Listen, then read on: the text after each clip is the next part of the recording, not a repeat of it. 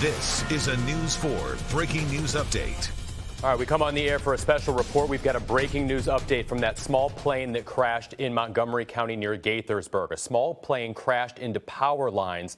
We're told the pilot and a passenger are still on board, dangling about 100 feet above ground. We want to take you live now to a press conference with an update. We are supposed to hear from the Montgomery County Fire Chief, Scott Goldstein. Let's listen. There in. are several concerns ongoing.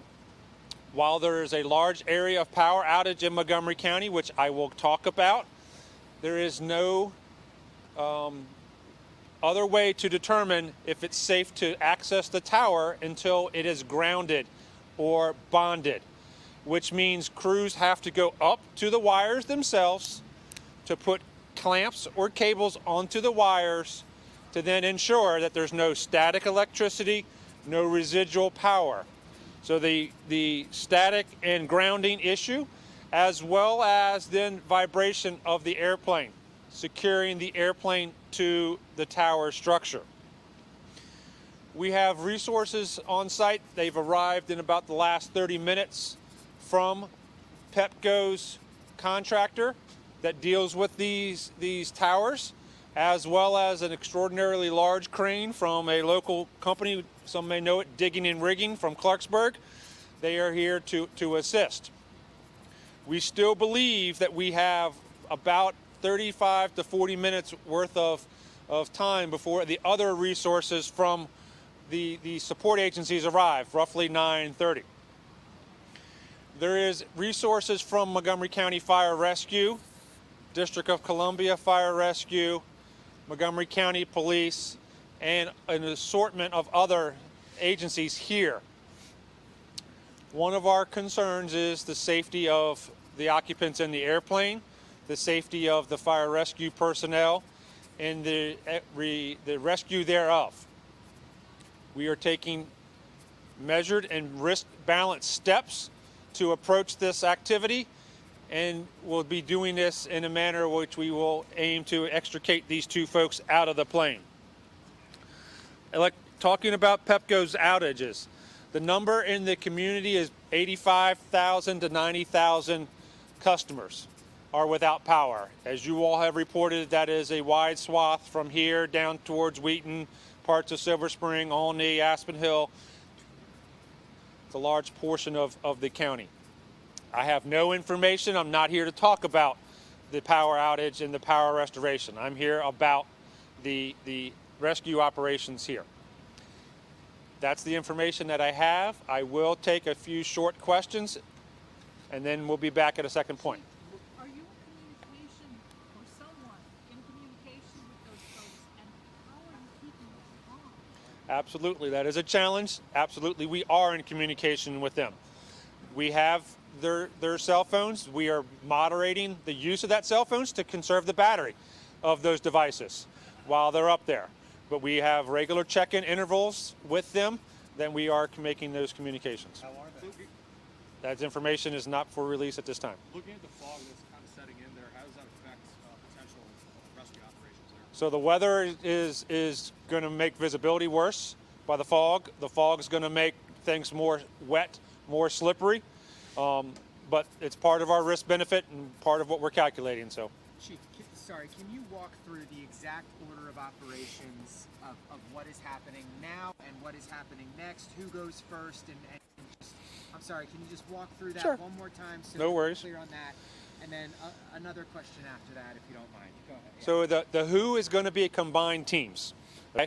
So the what will be the, the tower contractor will go up and do what is called grounding, or what may be referred to at other times as grounding and bonding, in which they go up, place cables onto the wires, and then have a direct path of that any static or residual electricity to a ground source. That'll be done by the tower contractors as well as fire rescue personnel. Once we then have the ability to get onto the tower, we will use either the bucket trucks or the crane to make access to where the aircraft is on the tower and then work to secure the aircraft to the tower. Again, that'll be a combination of the tower company and fire rescue personnel. Then we will work to bring the occupants of the plane out and down to ground and transport to area hospitals. So part of the process is is physically once you're up there, getting the plane attached to the tower before and, and presumably to ensure that the plane is secure when you make the extraction. As with any car extrication, we make the car stable before we take the people out of the car.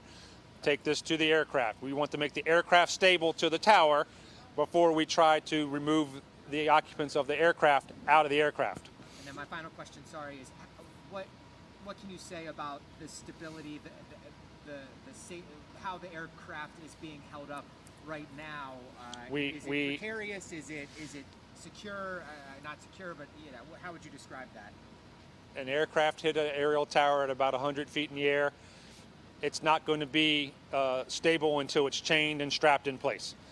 Any movement, any accidental movement could make the circumstance worse. Chief, I'm sorry, you have information about the condition of the people in the plane, but you can't share it? That's correct. Okay. Uh, Are you expecting to learn more, or why can't you share that at the moment? Can we presume they're doing well?